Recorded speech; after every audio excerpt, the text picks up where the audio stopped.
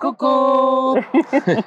Là, on peut dire coucou parce que regardez qui, Coucou. qui est en, en haut de nous, là. Coucou, coucou! Ah oui, Eh ça oui. fait du bien. Ah, hein? ah oui, le soleil est arrivé, ça Ben y oui, est. on s'est mis dehors exprès pour vous, pour vous, euh, vous accueillir dans notre cour, Oui, dans notre jardin. dans notre oui. jardin. Mais moi, pour un jardin, pour moi, c'est du potager? Oui, c'est ça. Au Québec, un jardin, c'est forcément un jardin potager. Ouais, c'est ça. Ou un jardin agencé, on va dire, euh, euh, comme les jardins de Versailles, par exemple. Mhm. Euh, c'est sûr, en France, notre jardin, c'est notre cour arrière pour les Québécois, notre cour. Ben, nous, c'est notre cour, puis Oui. euh, c'est ça.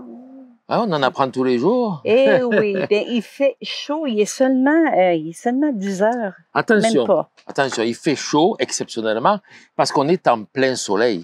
C'est Ouais. sûr que si on était euh, en Provence, on ne pourrait pas rester en plein soleil. Oh non, Euh, au ben, Mexique non plains, plus, là. Je vous plains. eux, là, il paraît que vous avez encore des grandes canicules, là. Oui, je- ben, j'espère que vous faites attention. c'est surtout Portugal, Espagne. Hmm. Et puis, bien sûr, ça s'en vient en France. Alors, on vous, on vous souhaite de pas trop en souffrir, de passer au travers de cette grosse canicule sans trop de dommages. Non. Et euh, ben, on vous souhaite de vous porter bien aussi. Mais on, on s'en vient aussi vous, vous encourager. On- Oui, oui, oui, s'en on vient bientôt. On vient, mais quand même, on va arriver euh, à fin août, donc ce sera déjà les, les grosses chaleurs Ah. seront pas mal passées. On ne sait jamais. Ben oui, c'est vrai. C'est très... avec tout le temps qui se passe dans le monde, là, on ne sait pas qu'est-ce qui peut euh, Ouais. Nous tomber sa tête euh, comme température. Ah oui, la météo est vraiment très bizarre en ce moment. Ah oui.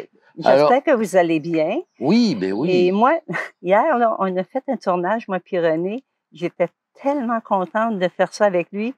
Du mercredi, vous allez voir, je ne sais pas quand ça va sortir, Oui, ça va sortir, je sais pas quand.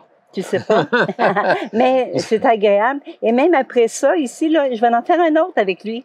Oui, tout de suite, là, Oui. dès qu'on a fini ce tournage, Je vous dis pas c'est quoi, Oui. c'est une surprise. ça sera. Ben, en fait, on fait quelques vidéos comme ça euh, pour le mercredi qui sont euh, basées sur certaines de vos questions. Mhm.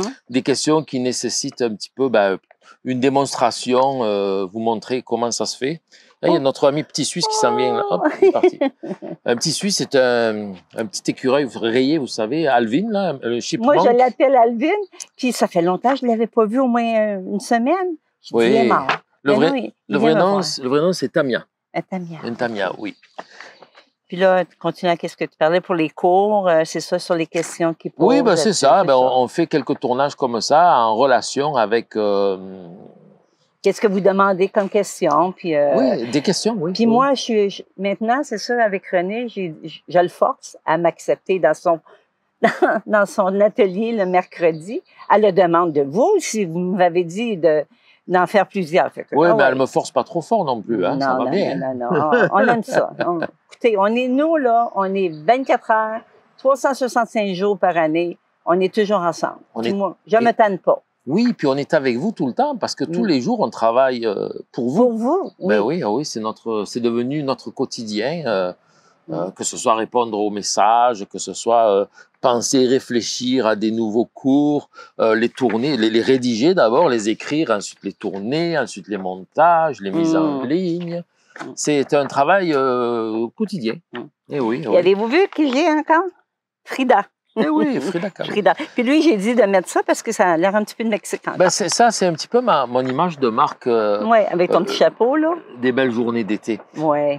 Euh, tout ça pour dire quand même que ne vous inquiétez pas, on travaille tous les jours, on pense à vous tous les jours, mais on a quand même la possibilité de prendre un petit peu des vacances parce que ce qu'on fait, ben, c'est qu'on travaille euh, beaucoup pour prendre de l'avance. Et quand on a pris de l'avance, après ça, on peut effectivement faire des pauses. respirer, On oui. peut faire des pauses. oui, Parce-. Après, là, faut pas oublier qu'est-ce qui s'en vient le 28 ou le 29 juillet? Oui, le 27. Ah, c'est le 27. bon. Mercredi 27 juillet. Oui, quelque On- chose pour vous. Oui, on il va y avoir un webinaire. Donc, mercredi 27 juillet, surveillez vos emails, vos, Eh, ça fait longtemps qu'on ne l'a pas fait. Oui, hein? on va en faire un oui. Alors, on en avait parlé il y a longtemps de ça. ça- le prochain, ça devait être ça, ben, ça va l'être.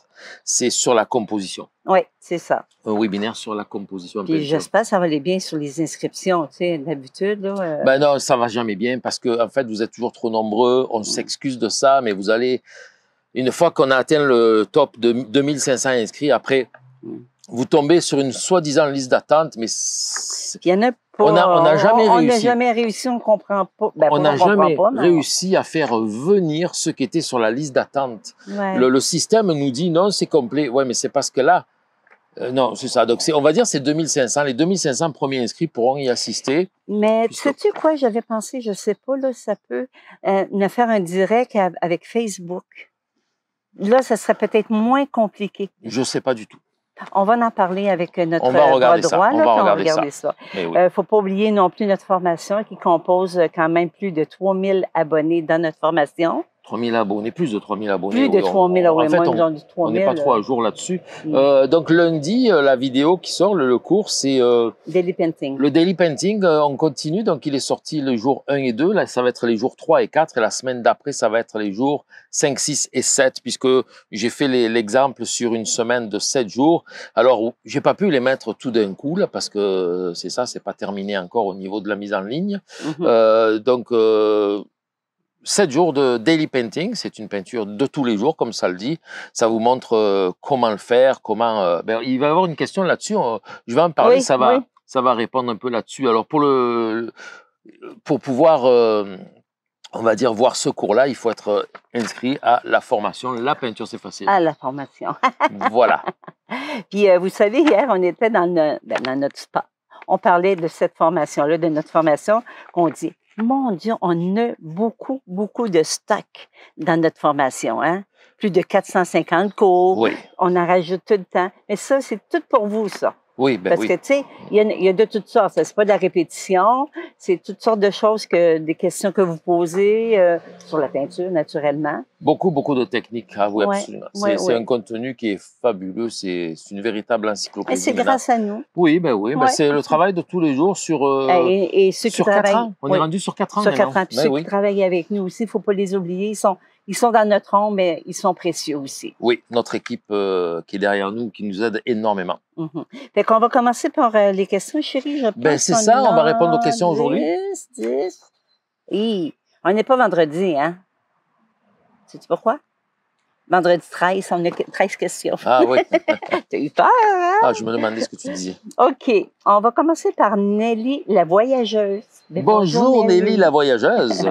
Elle dit euh, Je viens partager une info et poser une question. Oui. Bon, pour l'info, je suis satisfaite de la peinture Cobra, mais je la trouve trop brillante. J'ai demandé à Royal Talents si elle était compatible avec un vernis à retouchement pour peinture à l'huile classique d'une autre marque. Elle marque en parenthèse, il y en a un autre chez le Franc-Bourgeois.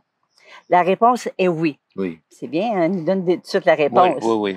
Mais la question, j'ai lu que les tableaux à l'huile devraient être stockés à la lumière pour bien vie- vieillir.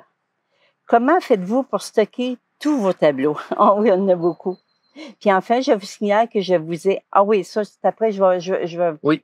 Oui, OK, on va Alors, commencer un, par... d'abord, la peinture Cobra, euh, c'est une peinture à l'huile soluble à l'eau. Effectivement, on peut l'utiliser avec tous les produits pour la peinture à l'huile classique traditionnelle, y compris les vernis, il n'y a pas de problème.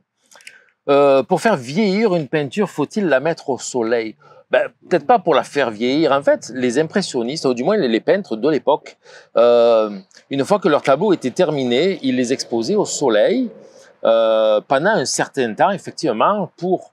euh, ben, en fait, pourquoi? Ben, C'est parce que le soleil, surtout avant, peut-être moins les peintures d'aujourd'hui, mais les peintures d'avant pouvaient changer de teinte un petit peu au soleil.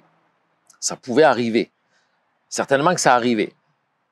Si le tableau, il était, admettons, euh, stocké contre un mur, les uns derrière les autres ou les uns devant les autres, avec le temps, la lumière, même pas le soleil, juste la lumière, altère un petit peu la teinte, la couleur de la peinture, la fait un petit peu changer. Mais si vous avez un tableau en avant d'un autre comme ça, mettons, et la partie exposée à la lumière va changer de couleur, mais celle qui ne l'est pas ne va pas changer. Fait qu'une fois qu'ils vont retirer le tableau qui est devant, celui qui était derrière, il va avoir deux couleurs. Mm. Ça aura changé un endroit sur deux. Oh, fait que ça fait un défaut au tableau, ça, ça serait vraiment pas beau. Alors ce qu'ils faisaient pour éviter ça, ben, ils les exposaient au soleil, en plein soleil, un certain temps. Comme ça, s'il devait y avoir une variation de couleur sur leur tableau due à la lumière, ça allait se faire de manière régulière sur le tableau au complet. Voilà. Donc, oui, on peut laisser le, le tableau au soleil un certain temps, mais c'est pas le stocker euh, à, pour toujours, pour l'éternité. Là, on va le mettre peut-être quelques jours au soleil. Je pense que ça suffit que si ça doit changer de couleur, ça va changer là.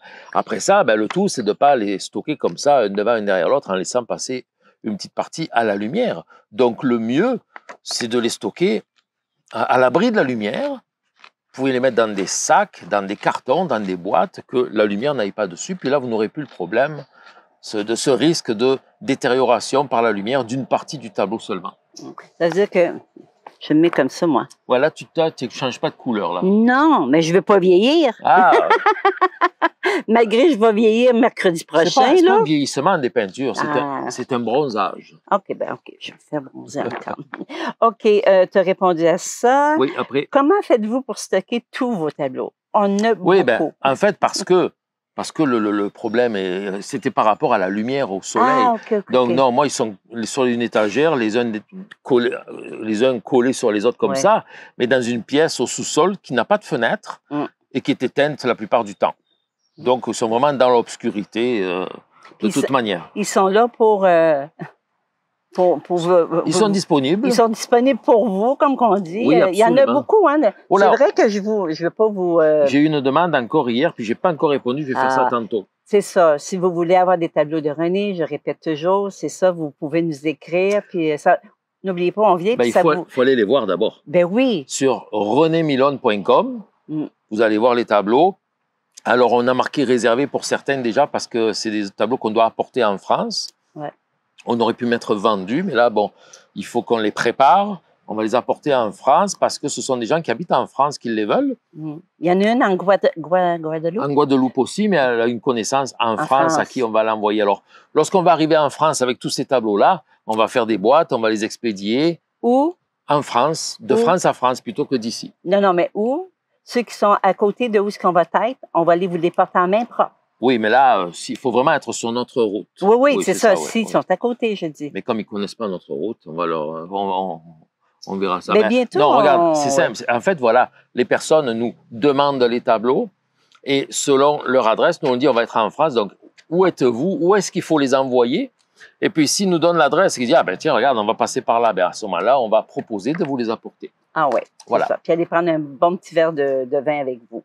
Moi, mais ça dépend si je conduis, peut-être Ben, un, un café. Mais non, mais je vais conduire aussi. Euh, Toi, tu conduis, moi je bois alors. J'ai jamais bon. conduit en France. Jamais. Jamais, jamais? Ben non. Non? Jamais. Ben non. Tu tu t'en pris manuel. Non, mais non, la dernière était Ah, automatique, non. Ben j'ai conduit seulement dans, dans, dans le stationnement. Oui, ça doit être ça, oui. OK, on continue. On va. Ben, c'est moins dangereux pour les autres. Hein. Hey! OK. En- ben, elle, a- elle nous signale aussi qu'elle nous a envoyé des pistes pour peindre sur les pas de monnaie. Oui, Elle nous demande aux alentours de Giverny, est-ce qu'on les a reçus? oui, on les a reçus, mais euh, Ouais. cette euh, question doit être assez ancienne, je pense. Mais j'ai répondu. Hein. Ah, OK, OK, OK. On les a reçus, j'ai répondu oui. Mais euh, si vous écrivez euh, dans le lien, mettons, vous allez dans milonaracademy.com, vous allez dans le contact, vous écrivez là, ou vous écrivez à, je pense c'était contact milonaracademy.com, on reçoit les messages. Là, il y a un message automatique qui vous est envoyé qui vous dit qu'on répond pas là-dessus parce qu'à un moment donné, on était euh, Ah, un petit peu débordé, puis on a envoyé euh, vos questions d'abord sur la foire aux questions pour que vous trouviez votre réponse avant qu'on on- on vous réponde. voit, Mais on on, les voit. voit, puis j'ai répondu, euh, même euh, d'ailleurs, euh, Nelly. Nelly, la voyageuse, m'a écrit là, m'a écrit à d'autres endroits aussi, puis j'avais répondu à un des endroits comme quoi, oui, merci beaucoup. Merci pour toutes les informations, à Nelly, mais aussi à toutes les autres personnes qui m'ont donné des informations. Parce que je les ai pris, hein. Je les ai pris en note, là, qu'est-ce que vous nous Là, avez on a écrit. tout noté, puis comme ça, je sais maintenant, j'ai pu voir où est-ce que j'allais pouvoir m'installer pour peindre, autant à Giverny, dans le coin de Giverny, à Etretat aussi. OK, on va continuer? On continue. On continue avec Mika 63. Bonjour, Bonjour Mika 63. J'ai une question à vous poser. Ben allez-y. C'est pas une réponse? OK. Vous dites souvent que le sujet est très important dans un tableau. Oui. Et qu'une personne ou un animal est forcément le sujet. Ça dépend du tableau. Exactement. Je suis un grand admirateur de Claude Monet. Et souvent, il a peint les personnes comme secondaires. Beaucoup de ses tableaux sont comme ça. C'est tout. Oui, alors ben, c'est ça, il faut regarder chaque tableau euh, au cas par cas, Ouais. par. Euh, si vous avez, euh, par exemple, je prends le tableau du champ de coquelicot avec les personnages qui marchent sur le côté gauche, qui descendent vers la droite, peut-être des petits personnages au fond, là-bas au loin aussi. Vous avez un champ de coquelicot, des personnages qui marchent. C'est pas que je veuille dire que le sujet principal, c'est les personnages, mais d'une manière hiérarchique, dans notre cerveau, ce qu'on va remarquer le plus, ce sont les personnages et entre un personnage en mouvement et un autre statique, on va percevoir plus celui qui est en mouvement, et ça devient le sujet principal, qu'on le veuille ou non. Alors si Claude Monet voulait montrer les beaux champs de coquelicots, mais s'il a mis des personnages, les personnages deviennent, veut, veut pas, le sujet principal. On n'y Mhm. peut rien. C'est pas, c'est pas moi qui l'ai décidé. C'est, c'est votre cerveau. Mm. C'est comme ça. C'est, c'est, c'est la vie. Maintenant, euh, vous allez euh, le, vous êtes, euh, vous savez, euh, le bain là, comment on appelle ça, de la grenouillère. Alors là, il y a beaucoup de personnages qui se baignent, tout ça. Il y a quelques barques aussi. Tu peux pas mettre un- euh, tous les personnages principaux. Non, tu mais il y en aura sûrement un qui va sortir plus que les autres, mais ça pourra pas être la barque qui va être le sujet principal s'il y a des personnages autour. Ouais. Parce que eux, là, c'est du vivant. Ça va plus nous attirer l'attention. Et lorsqu'on va, si on analyse euh, chaque tableau un par un, et on le prend là, hein, on prend son temps. On regarde la composition. Alors, c'est quoi comme composition? Quelles sont les zones directrices, les lignes directrices? Euh, Où est la ligne d'horizon? Euh, quel est le sujet principal? Qu'est-ce que c'est qui va le mettre en valeur? Ça peut être les lignes directrices, ça peut être même des couleurs. Simplement des valeurs, des couleurs, des changements de teinte ou de valeurs vont créer discrètement ces lignes directrices qui vont vous amener vers le sujet principal. Et euh, Claude Monet a, je vais en parler dans le, le webinaire, j'ai un exemple sur un tableau de Claude Monet. De, de- euh, il a, on va dire, contra- contredit la, la règle de composition en plaçant son sujet principal, donc euh, quelqu'un qui peint, à un endroit où jamais on aurait dû le mettre. Et il l'a fait, il l'a fait exprès. C'est ça, c'est... Mm, Non, excusez-moi, c'est pas Claude Monet, c'est Renoir. Mm. Alors, c'est un tableau de Renoir où on voit Claude Monet qui peint. Ah oui. Oui, c'est Claude Monet qui est assis là, qui est en train de peindre, qui Ce serait mis. lui qui a, qui a été le, le sujet principal dans Ben ce- oui, oui, Ben oui, on peut pas le manquer. ça. on peut pas le manquer. C'est une composition, on va Ah. dire euh, Je vais aller voir. extra règle, tu sais, aller en dehors des règles de composition. Ouais, c'est je- spécial. Oui, tu me le montreras tantôt. OK, on va continuer avec Jean-Loup Daquet. Bonjour Jean-Loup. C'est lui. Bonjour Ulf. Oui, Ulf, danois. C'est des chiens ou un danois? Dans le pays, euh, dan- je en sais. danois, oui, c'est ça. J'ai une question hors sujet. Ah, ben voilà. Pouvez-vous, s'il vous plaît, Oui, bien sûr. indiquer quel médium pour peinture à l'huile permet d'arrondir les touches et lisser les coups de pinceau? Oui, arrondir les touches et lisser les coups de pinceau. Euh, moi, je vous dirais, on parle de peinture à l'huile, je suppose. Sûrement, oui, parce que mais là, oui. Vous savez, le, le lichen original fait un petit peu ça, quand même. Oui, euh, il va enlever les, coups de pinceau, les, il va lisser vraiment le- la peinture. Euh, il n'y a pas énormément de médiums. euh, arrondir les touches, je dirais, vous savez, le médium vénitien, là, certainement, ou flamand, flamand, vénitien, l'un ou l'autre, ou les deux, peuvent travailler là-dedans. Peinture à l'huile. Oui, mais peuvent nous amener vers, vers ça. D'ailleurs, c'est ce qu'ils utilisaient les, les peintres à l'époque. Ça, c'est un médium qui est assez pâteux. Contient de la cire pour l'un, euh, l'autre, je ne sais plus, en tout cas. Mais par contre, étant donné que ça crée aussi un petit peu légèrement des empattements, euh, ça peut faire apparaître peut-être un petit peu plus la touche, le coup de pinceau. Mais par contre, ça arrondit bien la touche, oui. Mais euh, il y a peut-être la marque un peu. Si ça vous intéresse, tiens, je vous mets le lien ici, là, Oui, vers les pour aller voir la vidéo que j'ai mise sur YouTube au sujet du, Médium fla- flamand. du médium flamand et médium vénitien. J'ai fait des petites, euh, Mm. des petites démonstrations. D'ailleurs, on était à Vergès en plein air quand je l'ai faite. Ah oui. Même il dit, peut-être avez-vous déjà abordé ce sujet. Fait que c'est Oui, ça. OK. on- oui, oui, oui. Il est un petit comique, hein? Il dit bise à Lynn, bise à Dada, bise à Linda. Mais bise à toi aussi. OK, on va continuer avec Sylvia Dos Santos. Bonjour, Sylvia. J'adore vous voir. Mais nous Comme- aussi, on adore vous aussi. voir. Ben oui. Ben, eux, je vous vois, mais, Mais oui, j'aimerais tellement vous voir. Eh, mon on- Dieu, il y aurait plein de caméras, On plein vous de, télévision. On vous voit, là, tu sais. ne Avec les yeux du cœur. Avec les yeux du cœur. Ben oui, regardez, vous êtes ici en face de nous dans notre jardin, dans notre cour. Oui. là. Elle dit, vous voir, vous dites, et c'est bien vous voir, c'est vous adopter. C'est vrai, hein? vous nous avez adoptés, puis nous aussi, on vous a adoptés. On vous a adopté aussi. oui. Elle dit, j'aime vous, euh, vous voir peindre en, spin- en speed painting aussi. Oui. Ça, c'est bien aussi. Cela me détend et j'apprécie votre talent. Pour, euh, une question. Pourriez-vous m'expliquer comment vous utilisez le retardateur Golden sur une peinture acrylique? Ou, si c'est possible, de faire une vidéo me montrant votre manière de l'utiliser?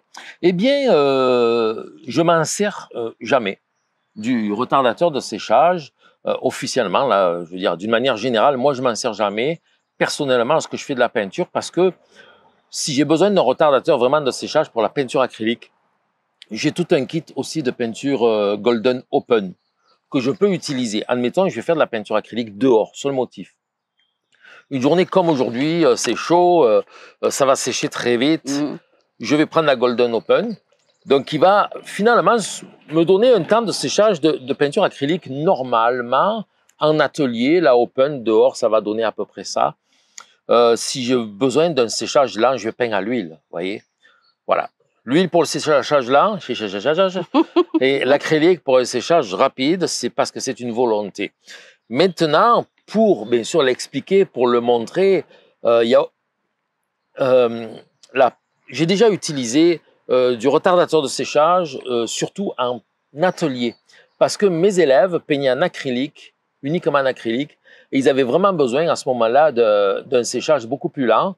Je pense entre autres à euh, Bertrand, hein, qui faisait ses ciels et qui voulait que Ah, ce soit des ciels oui. vraiment très lisses, très euh, dégradés, sans avoir des coups de pinceau de, visibles. Mm. Donc, on utilisait du retardateur de séchage. Puis après, je lui ai conseillé d'acheter la Golden Open, qui sèche plus lentement. Donc, ça fonctionnait, oui, ça marche bien. Mhm. Mais alors, pour répondre à la question, nous allons répondre à votre question en vidéo parce que j'ai acheté, ça y est, j'ai reçu hier Mhm. ma. Il dégoûte. Ah, je, je- je coule l'eau là.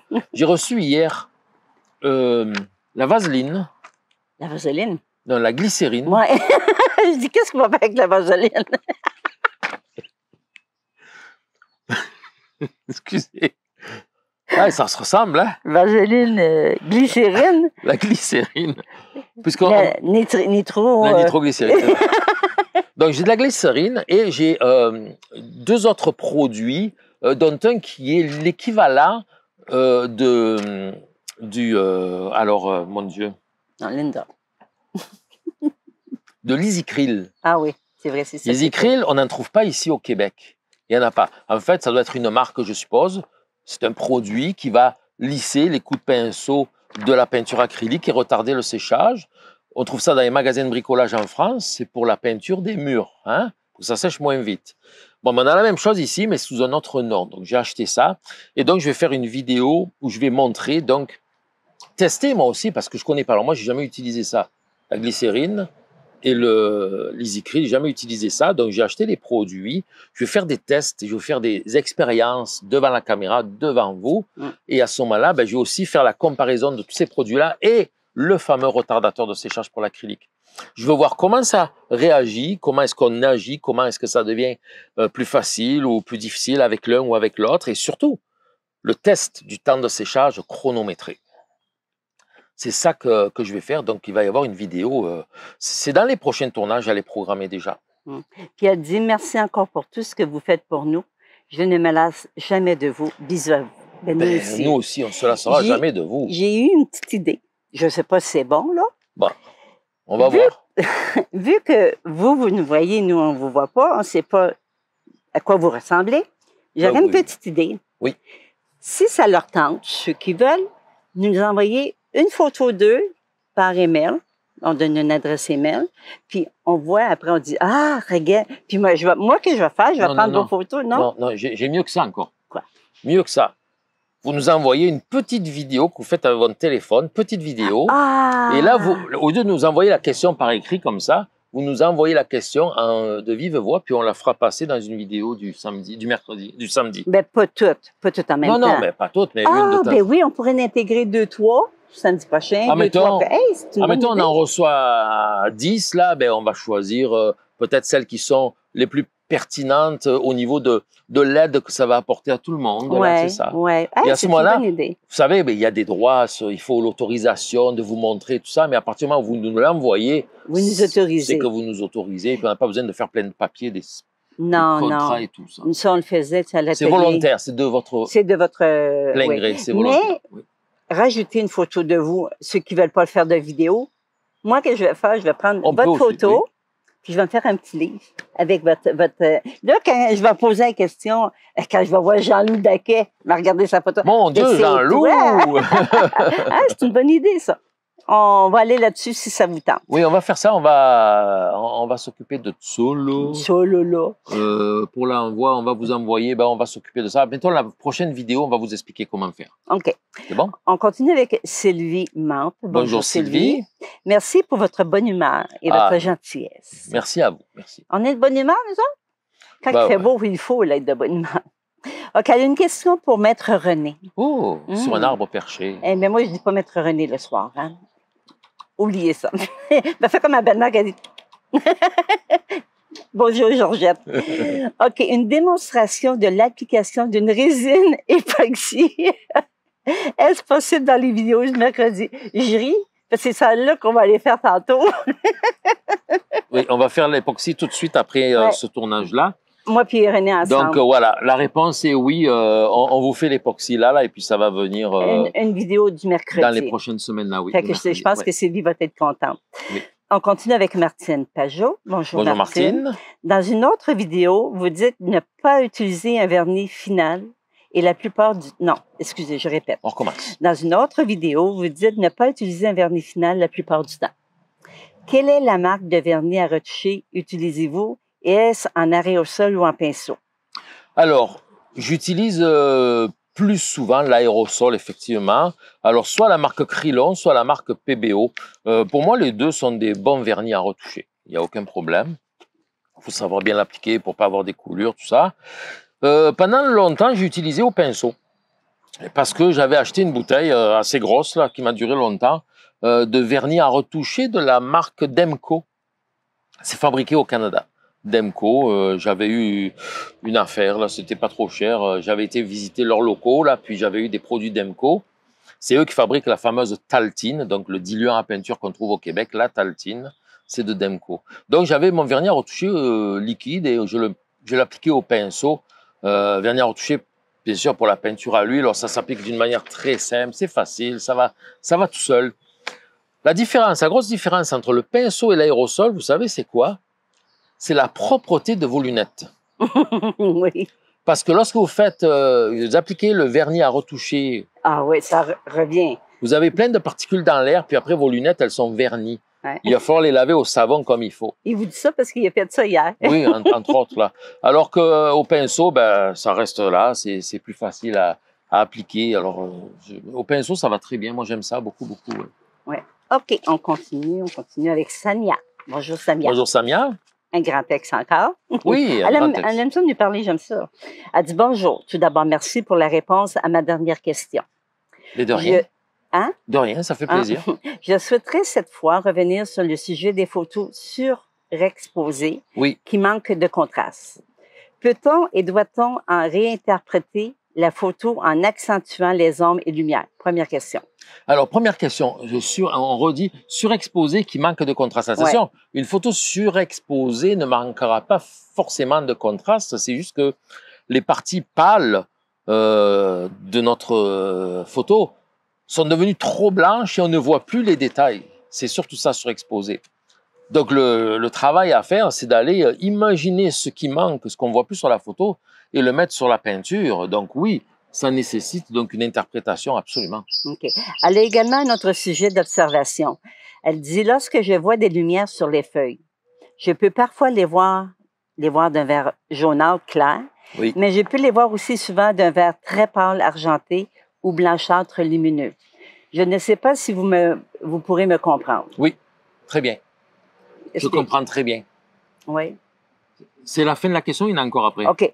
Ah, ben, je peux dire, je Non, euh, on va, tu vas élaborer ça, puis il y en a d'autres. Oui, donc on va parler vraiment de la lumière euh, qu'on voit sur les feuilles et qui, euh, lorsque la feuille brille, est, est blanche, pratiquement blanche là. Comment est-ce qu'on réalise ça en peinture? Alors moi, ça m'est déjà arrivé de le, mettre en, place dans des tableaux. Je, pourrais vous montrer peut-être un exemple ou deux. Là. Je, prends une note, là, un tableau ou deux où je montre justement la brillance sur une feuille. Alors effectivement, on pourrait dire, regardez, à la base, le feuillage d'un arbre, nous allons avoir, on peut dire, euh, quatre, quatre couleurs, valeurs. Mélange valeur-couleur.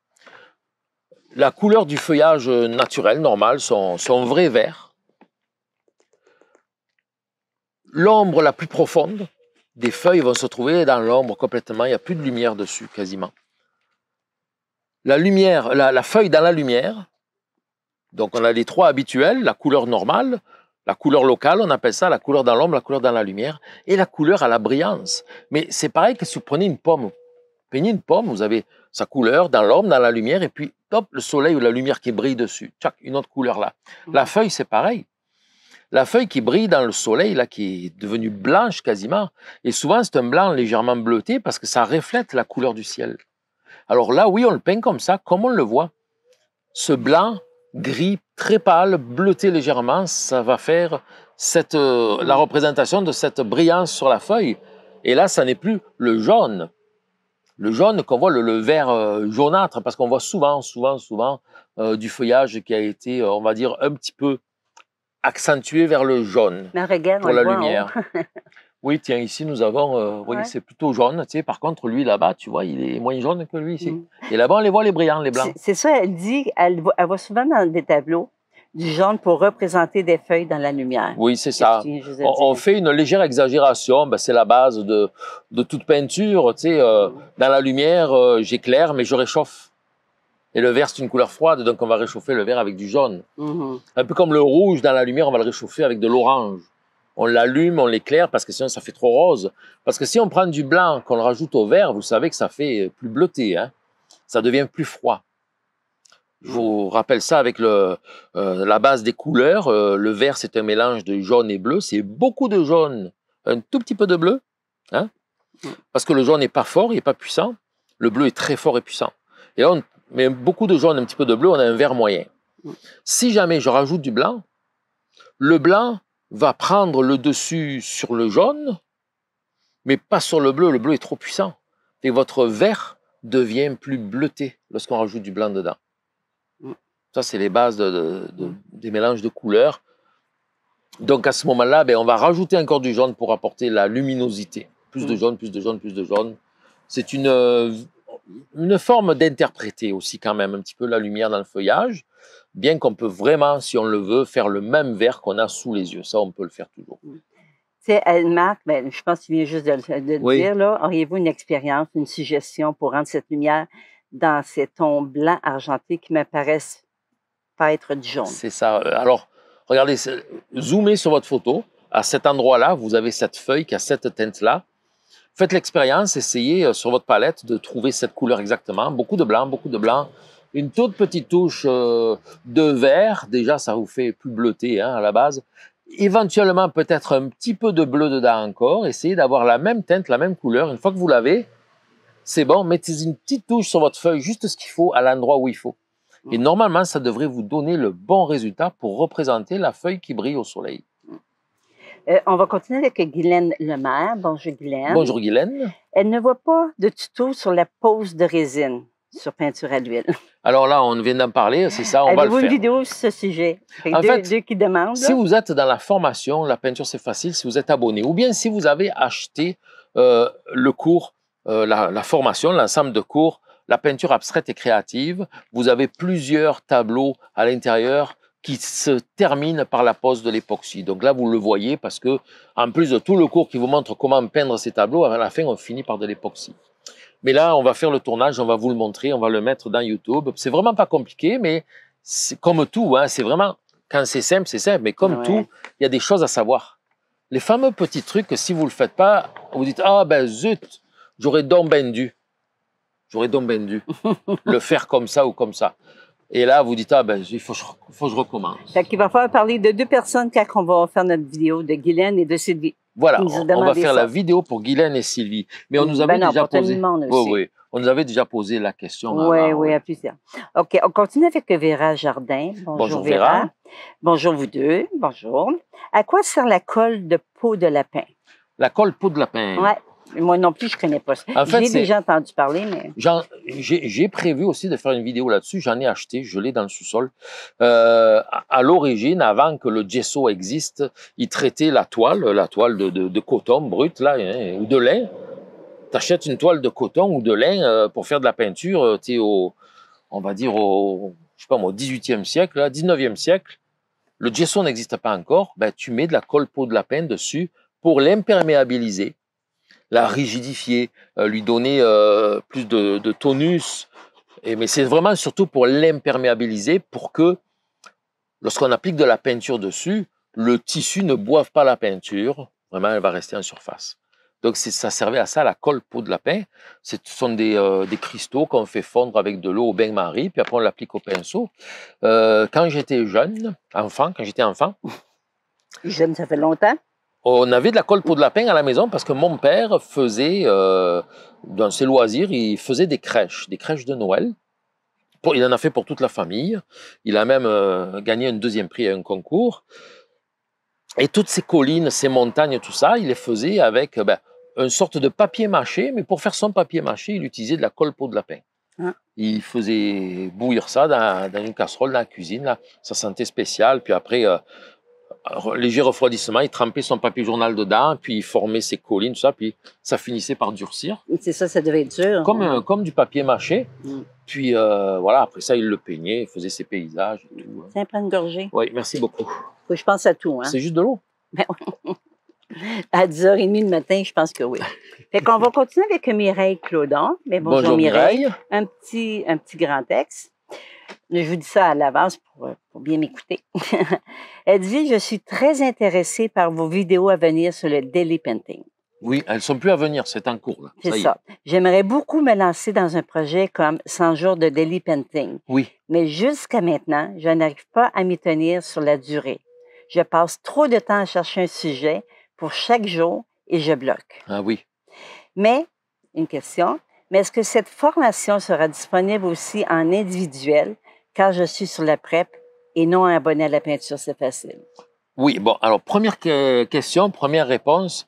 Euh, 100, 100 jours, 100 jours c'est beaucoup. délai. Oui, c'est 100 beaucoup. jours, c'est beaucoup, mais euh, c'est très bien de vouloir le faire, c'est super. euh, Si vous avez le temps, et Mais moi, y a pas de j'irais- problème. j- est-ce que je dirais de faire ça en petit format? c'est ça. c'est ça, si ça fait des gros formats, là, va Ben, si, décourager. si vous, pou- si vous pouviez voir le, le cours, vous comprendrez vraiment. Je vous montre tout, comment choisir vos sujets rapidement, facilement. Mm, C'est mm. très simple, prendre des sujets pour le daily painting, très très simple. Euh, vous en trouvez tous les jours. Tous les jours, vous en avez. Vous en avez même plus qu'il en faut. Euh, parce que vous allez faire ça petit format, ce sont juste des exercices. euh, et puis, on va chercher des techniques différentes à chaque fois pour euh, progresser, apprendre sur telle chose ou telle chose ou telle chose.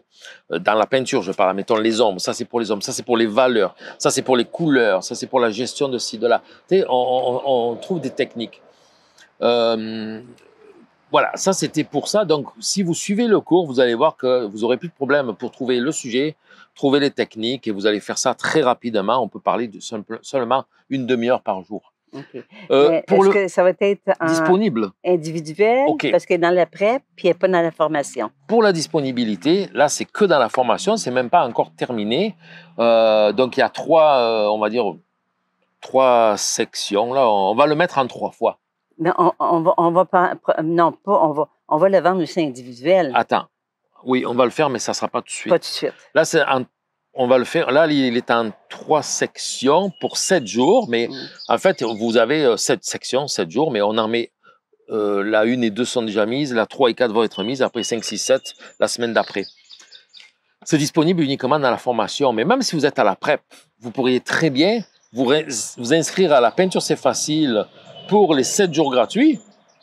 Profitez de ça, puis après, vous vous désinscrivez aussi, vous en Ben avez oui. vu. Parce que ça ne sera pas demain qu'on va le mettre en disponibilité comme ça tout seul. Oui, on va le faire, mais voilà. Actuellement, on travaille sur la création de nouveaux packs de formation euh, qui seront euh, disponibles donc dans notre catalogue. Là, on est en train de travailler sur, euh, on va dire, vous savez, il y a déjà disponible la peinture à l'huile pour débutants, peinture acrylique pour débutants. Bon, ben là, on est en train de placer, on va dire, la peinture à l'huile avancée ou la peinture à l'huile numéro 2.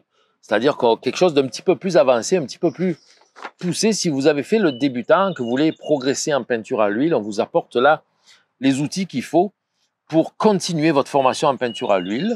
Euh, c'est une trentaine d'heures, je pense. On fera pareil à l'acrylique. Après, vous voyez, on va en mettre des nouveaux.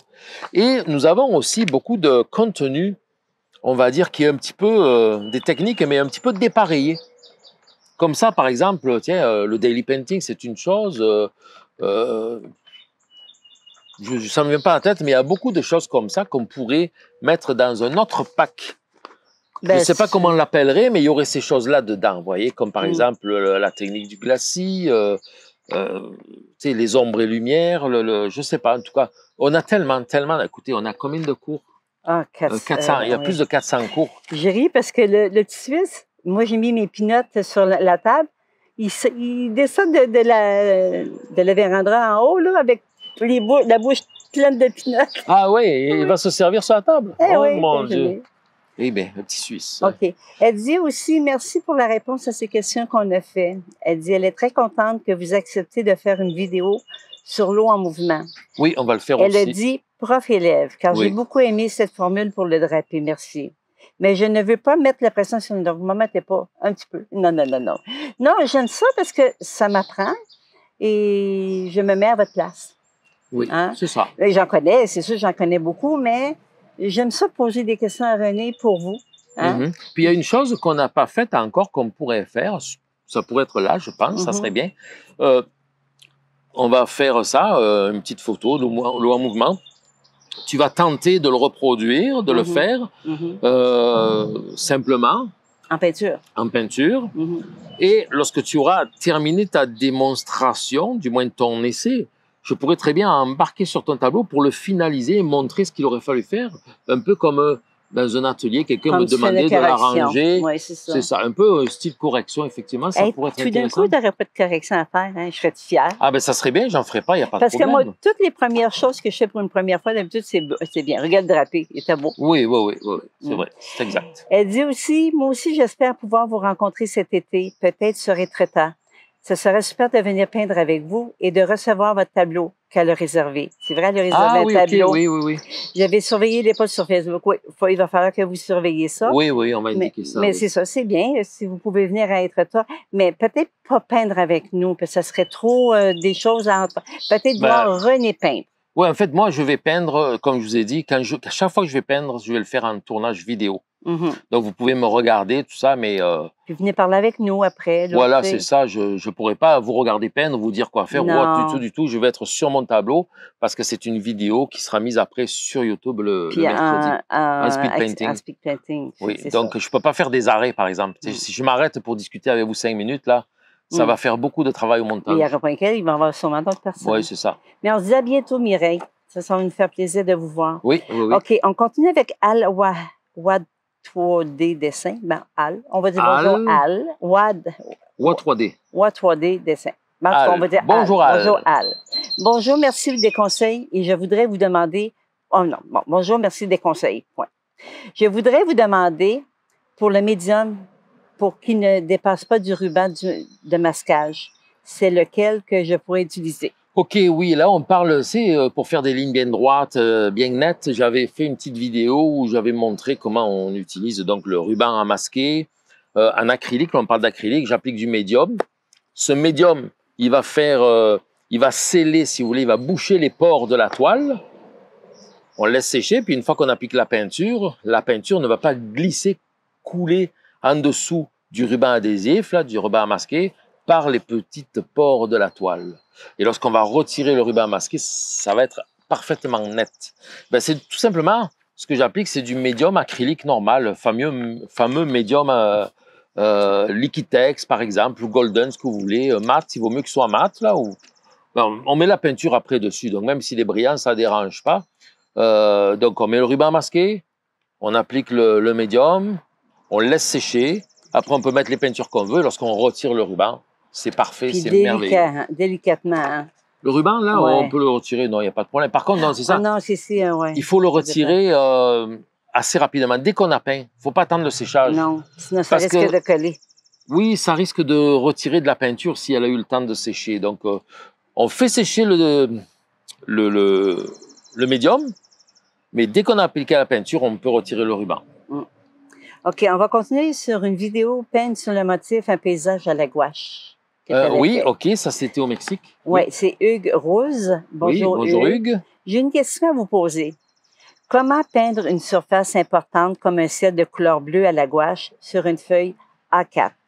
Car les exemples que l'on voit sur toutes les vidéos sont faits sur un format A5, donc plus facile à peindre, je pense. Oui, ben, format A5 ou plus petit, là, je sais pas euh, vraiment qu'est-ce que c'est format A5, mais regardez, moi, de ce que je connais euh, qui font de la gouache euh, sur Internet, donc j'avais parlé déjà de... euh, mon Dieu. Ah ben les noms. Les noms sont Michael, Mike. Mon Dieu. Ah, là, j'ai un trou, là. Ça, c'est soit... le- Ah, regarde, il est reparti encore avec des pinots gazés, il joue. En fait, il y a, il y a deux personnes que je suis sur... Michael YouTube. Non, non, non. Non? je sais pas. Mike Hernandez. Ça revient, ça revient. Mike Hernandez et un autre monsieur qui s'appelle, mon Dieu, écoute, euh, bon, en tout cas, ils font Il de la va gouache. Ils font de la gouache, puis c'est toujours des petits formats. Tout le temps, tout le temps, tout le temps. Quand on était à l'atelier, on en faisait avec les enfants. Le maximum qu'on faisait, c'était le format lettre, comme ça, Ouais, 21 comme ça. 11. Euh, c'était le gros maximum. Je ne pense pas qu'il y ait bien des gens qui aient fait de la gouache en grosse quantité. Cependant, c'est toujours possible, certainement à condition d'acheter peut-être de la gouache liquide, parce que ça existe en bouteille. Gouache liquide, d'en mettre une assez grande quantité Mais ça sèche et de vite peindre quand vite. même. je ça sèche très vite. Oui, Ça sèche très vite, donc c'est un petit peu embêtant. Euh, Vous savez, les- là, là, non. les spécialistes de la gouache, ils sont assez rares. Hein? Ouais, ouais. Puis c'est ça, comme tu dis, c'est des petits formats. Oui, oui, oui. On- tout le monde fait sur du petit format. Alors, je pourrais pas vraiment beaucoup plus vous aider là-dessus. Il faudrait voir ça peut-être avec euh, les fabricants. On sait que pour l'acrylique, il existe des retardateurs de séchage. Mm. Est-ce que pour la gouache, ça existe aussi? Est-ce qu'on pourrait ajouter euh, nous-mêmes notre propre additif? Je sais pas, je dis n'importe quoi. Peut-être remettre de la, de la gomme arabique. On sait que la gomme arabique est à la base de la composition de la gouache, de l'aquarelle.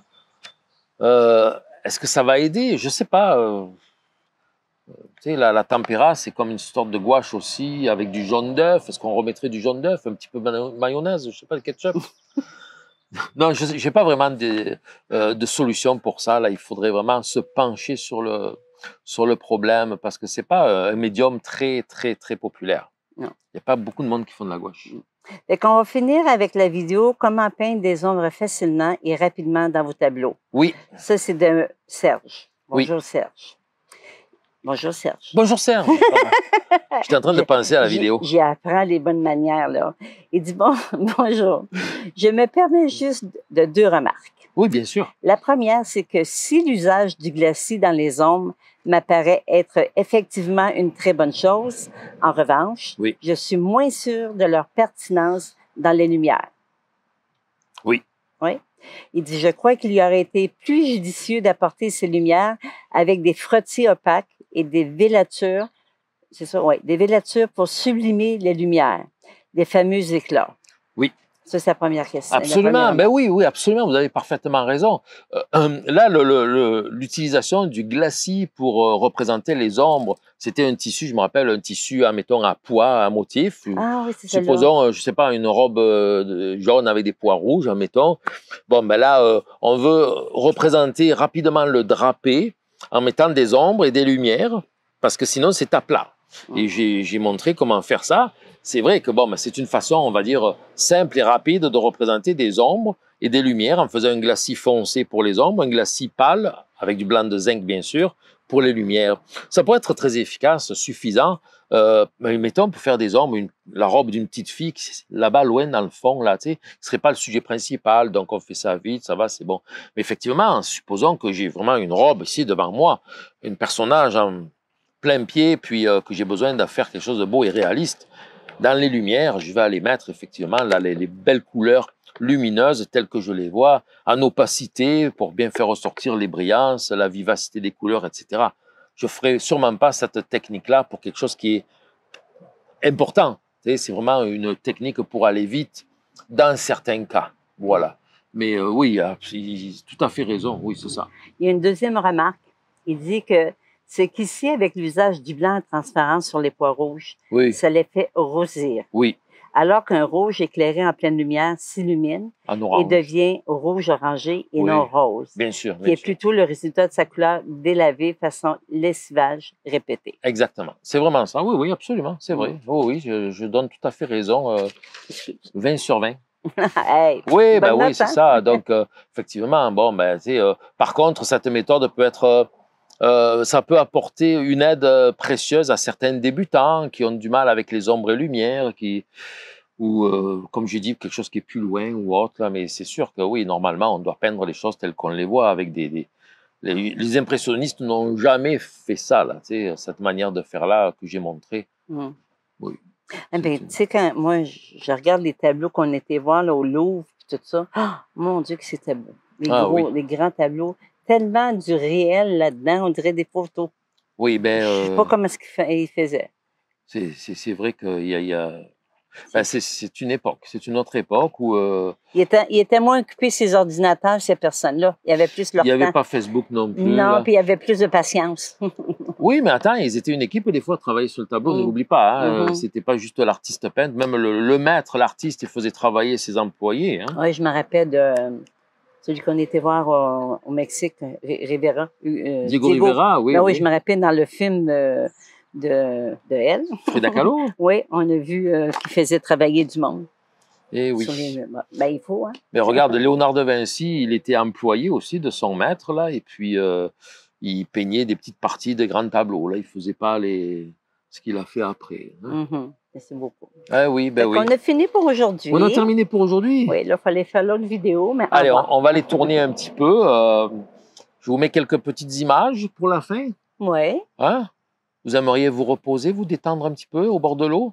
Hum, ben oui, il y a eu, il y a été des belles places. Allez, une petite image au bord de l'eau, tranquille, avec une petite musique douce. Et là, vous allez pouvoir vous endormir. Après ce- ce be- cette belle vidéo-là.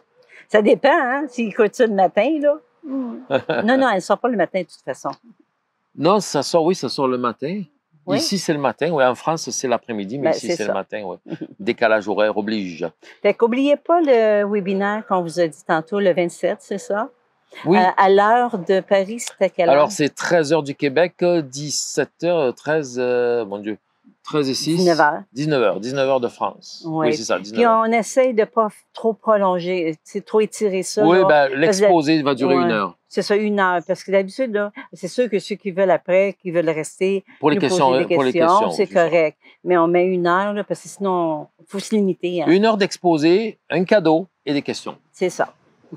C'est bon? Alors, merci beaucoup. Merci, Merci. infiniment d'être là, euh, nous suivre euh, chaque, chaque mercredi, chaque samedi. euh, merci infiniment. On est super heureux et content. Regardez comme on est à l'aise avec vous. là. Ah oui, oui, oui. Ah, et puis, merci surtout pour les likes, les pouces en haut euh, et euh, les partages aussi. Hein. Partagez ça. euh, Oui, oui, oui. Et surtout, surtout, on vous souhaite de bien vous porter, d'aller bien. La santé, c'est le plus important. Mhm. À très bientôt. Bye bye. bye. bye.